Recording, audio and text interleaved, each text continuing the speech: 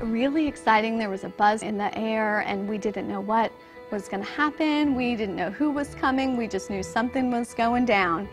And so when Jane Foley, who is um, one of the vice presidents for the Milken Education Network, came and was talking about how special you know it is to be a teacher and how important it is, really just the energy in the in the air just you know intensified. And then she holds up cards 20 you know would you give $25 tip to great teachers? Would you give $250 tip?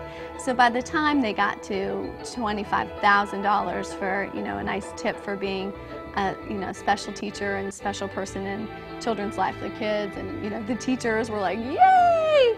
My favorite part was that all the kids thought it was their own teacher. And it's so great to think that, you know, we all do this. We are all that teacher to these kids. And it's important to remember that, you know, it's unfortunate that we can't all get special awards and we can't all be recognized every day for all the hard work we put in.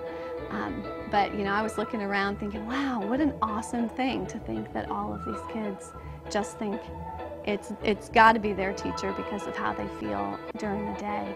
And when they called my name, it was just an incredible feeling to feel like I was, I was picked out. I was, you know, part of it and to, to be recognized for the hard work and the achievement of my students and, and what I put into it was just incredible. I got to go to a great conference and uh, meet with all the other recipients of the Milken Educator Award, and they're so awesome. And you, it's kind of like classes. You know, you have the class of 2000, the class of 2001, and it's just an incredible network. It's you know, it's full of these teachers who all just have this passion for teaching and learning, and we're all in a room, and you know, we all have these great ideas, and we all have these huge ambitions, and we all want to network, and we all want to share ideas. We have a Virginia Milken Education Network, uh, which is a network within just our state of people who have received the award, and we work together. Uh, really, we share ideas. It's principals, it's assistant superintendents uh, from all over, and we work together to share ideas, to share best practices. And you know, sometimes it's nice just to stay within your state, but get out of your county and kind of have that free share um, you know, ideas and share best practices that's not so close to home. We recently just had the Virginia Milken Educator Network, uh, we call them Teachers of Promise. So we recently just had a Teacher of Promise be named a County Teacher of the Year.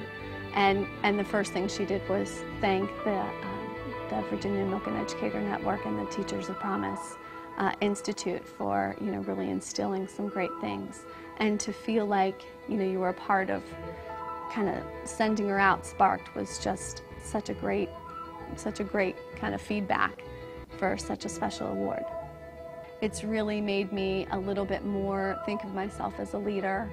Eh, you know it's kind of raised the bar as far as what i expect of myself. But it's been a great thing you know it has definitely changed and raised the bar for me as a teacher and a leader